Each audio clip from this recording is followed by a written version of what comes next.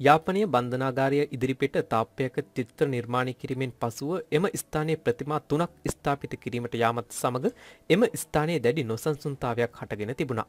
අදාළ ස්ථානයට ගිය දෙමළ ජාතික සංවිධානයේ සහ තවත් දෙමළ පක්ෂ කිහිපයක මන්ත්‍රීවරුන් පවසා තිබුණේ එම ස්ථානයේ තබන්නට යන ප්‍රතිපා සිංහල බෞද්ධ ඉතිහාස කතා දැක්වෙන ප්‍රතිපා නිසා වහාම ඒවා නිරාවරණය කිරීමෙන් පළකින ලෙසයි.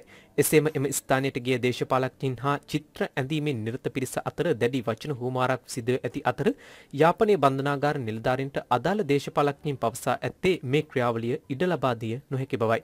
යාපනයේ තරුණ තරුණීන්ද බොහෝ ස්ථානවල අලංකරණ චිත්‍ර චිත්‍ර අඳමින් නගරය ලස්සන කළ අවස්ථාවේදී ඒ පිළිබඳව දැඩි සතුටට පත් වූ බවත් මේ ආකාරයේ සිංහල බෞද්ධ ඉතිහාස කතා යාපනයේ නගරය නිරූපණය කිරීම පිළිබඳව සතුටට පත්වීම හෝ ඊට ඉඩදීම කළ නොහැකි ක්‍රියාවක් බවත් යාපනයේ දේශපාලඥයින් පිරිස වැඩිදුරටත් ප්‍රකාශ කර තිබෙනවා. මෙවැනි වීඩියෝ දිනපතා නැරඹීමට පහත බටන් එක ක්ලික් කර අපව සබස්ක්‍රයිබ් කරන්න.